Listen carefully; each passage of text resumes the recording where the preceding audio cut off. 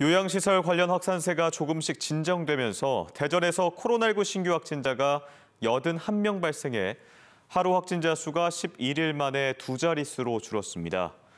두 자릿수 확진자가 나온 건 11일 만으로 감염병 전담병원과 중구 고등학교에서 각각 2명과 4명이 새로 확진되면서 특정 감염 고리를 중심으로 한 확산세가 여전히 이어지고 있습니다.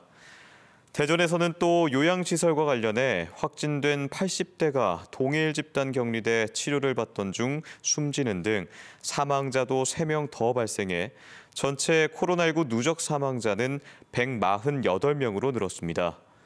세종에서도 오늘 35명이 추가 확진돼 누적 확진자가 2,000명을 넘어섰고 천안과 아산에서도 60명이 넘는 확진자가 발생했습니다.